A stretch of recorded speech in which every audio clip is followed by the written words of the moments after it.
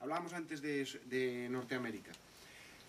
Nosotros hasta el año 60 pensábamos que los vikingos, bueno, nosotros, los estudiosos, la verdad no había ni nacido, pero eh, se pensaba que los vikingos no habían llegado a América, que ellos lo, lo, ponían en las sagas y había referencias a una misteriosa tierra del oeste, más allá de Groenlandia, pero nadie sabía a qué se referían.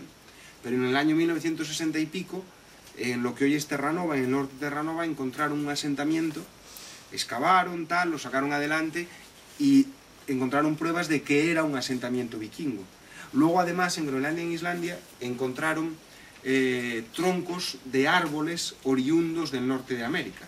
Y ya fueron atando cabos y se dieron cuenta que aquello que venía contado en las sagas y que pensábamos que era, pues como cuando aquí hablamos de ciertas cosas o de las tradiciones gallegas o demás, que hay cosas que faltaría por demostrar, pues en ese momento pudieron demostrar que efectivamente los vikingos habían llegado a Norteamérica.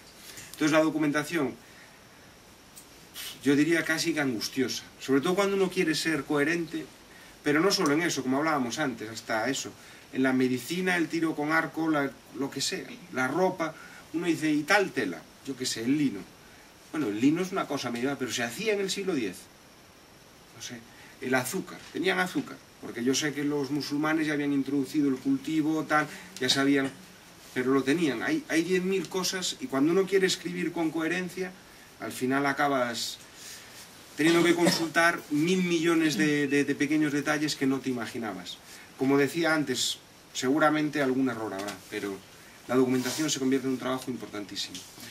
Repito, si es el compromiso que uno quiere. Luego uno puede contar una historia, si yo me pongo a contar una historia de fantasía, pues ya es distinto, ya me invento yo el mundo, ya hago lo que quiero, ya no necesito ese trabajo a lo mejor.